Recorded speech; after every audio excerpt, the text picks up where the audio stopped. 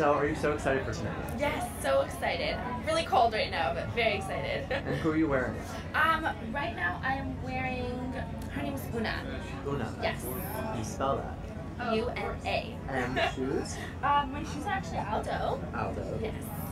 Okay. Now, were you happy with the Rolling Stone cover? I was very happy with the Rolling Stone cover. I think it caught us in like a little um, funny pose. We were all dancing to the music, and so I think it was cute. Yeah. Now, you've started filming season four already. Mhm. What's going on? Let's see here.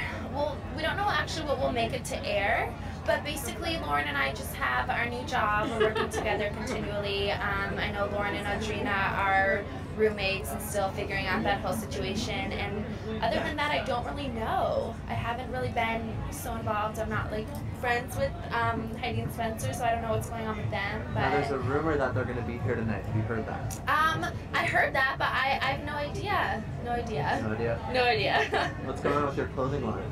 Well, it will be in stores in August, so I'm really excited. It's called Whitney Eve, and it's like contemporary cocktail wear. We actually showed it on Extra, which is really awesome.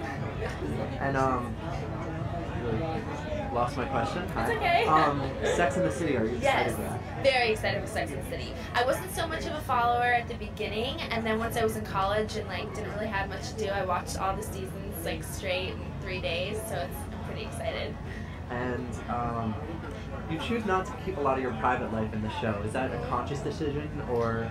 Definitely a conscious decision. I mean, I knew once I went into the show that it just wasn't my thing. I, I felt like I would be letting myself be too vulnerable, and I couldn't handle all the cameras around that. Too much pressure.